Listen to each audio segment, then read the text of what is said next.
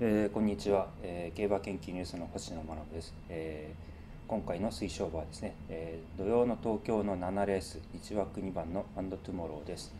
え久々になりますがもう中間うなるような感じでもう非常に具合が良さそうなのが目立っているのが、え非常によろしいかと思われるんですね。あとまあ、え中央再入厩になるんですが、まあ、以前は、えー、ずっと芝を使われてたんですけど、まあ、今回は中央は芝、えー、ダートは初めてなんですが、えー、地方で2勝しての、えー、再2級ということで実績を上げてのことなので、えー、もしかしたらここのメンバーに入れば足りてもいいかなということで推奨してみました、えー、相手は4枠7番のファンシー・リシェスと4枠8番の、えー、レイオン・ベールではないでしょうか、えー、日曜のフ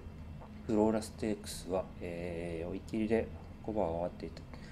非常に具合の良さそうだったフロンティアクイーンがいいと思います。以上です。